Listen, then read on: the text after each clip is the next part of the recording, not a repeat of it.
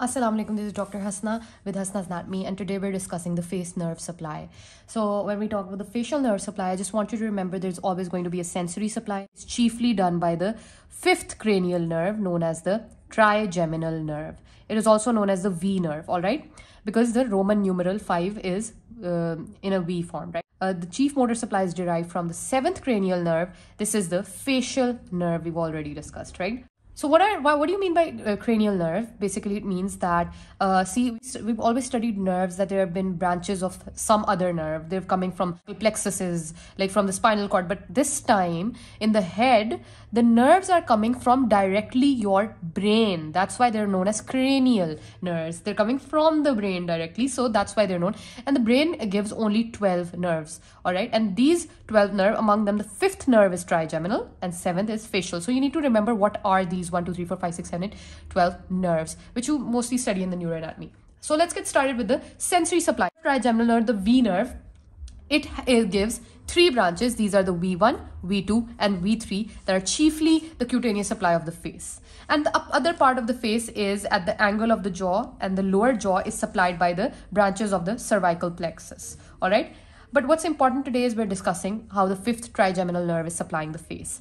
So it has V1 branch, V2, V3. This is known as the ophthalmic branch and it remains in the area of the eye area. And remember a few pointers that I'm going to tell you so it becomes easy. Remember that ophthalmic's lower limit is the upper eyelid. Make sense? Next, let's talk about the V2. The V2 is known as a maxillary division and I want you to know the lower limit of the V2 is the upper lip. All right. And finally, the mandibular V3. This is going to supply the below. All right. So now we're going to draw the face and we're going to draw the sensory supply.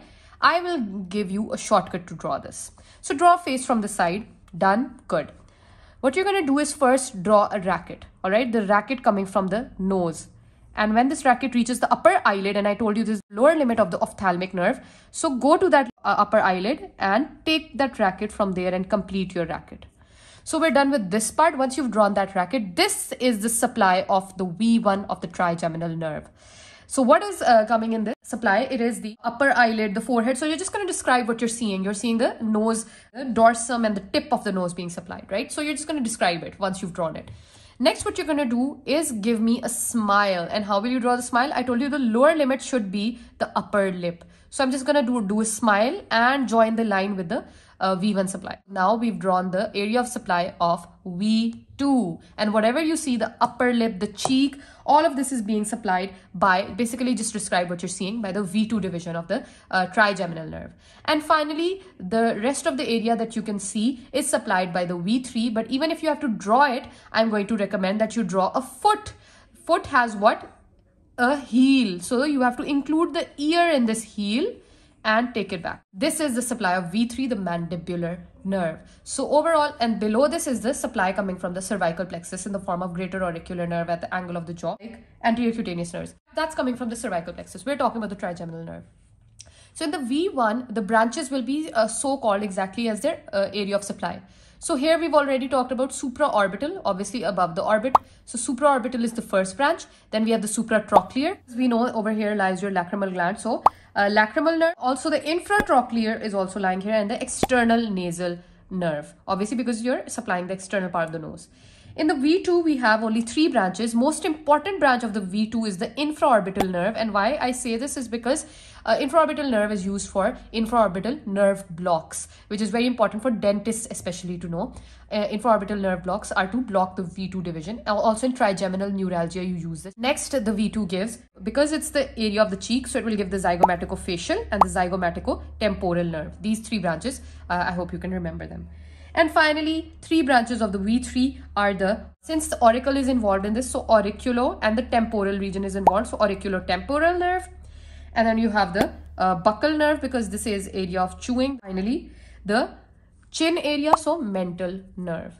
So these are the branches. Now let's talk about the motor supply of your face. Facial nerve is the chief nerve supply for facial muscles. This is the facial nerve when it leaves the stylomastoid foramen, which lies about here uh, between the styloid process and mastoid. After that, it gives a posterior auricular nerve which goes and supplies the posterior muscles of the auricle. and then once it leaves from here it goes into the parotid gland and in, within the parotid gland it divides into five branches which supply the face and these five branches you can literally put on your face your entire palm and these will be divided as so so you put your thumb pointing towards the temporal region you put your index finger uh, on the zygomatic bone middle finger pointing towards the upper lip put your middle finger pointing towards the lower lip and finally, your final finger will naturally go towards pointing towards your neck. These are the branches beginning from the temporal region. Obviously, it will be the temporal nerve. Pointing towards the cheek, name says it. So it's zygomatic nerve.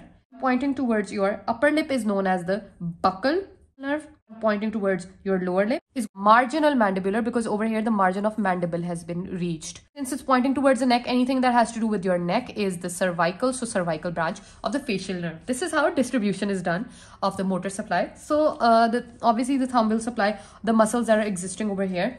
And uh, similarly, all the fingers, uh, according to where they're pointing, they're going to supply the muscles over there. And cervical branch will chiefly supply your platysma muscle. So this is how your facial nerve is giving motor supply to your face. So I really hope the uh, nerve supply of the face has made sense to you. Do not forget to subscribe to my channel, turn your post notifications on as I'm releasing the head and neck series. And until then, thank you so much for watching.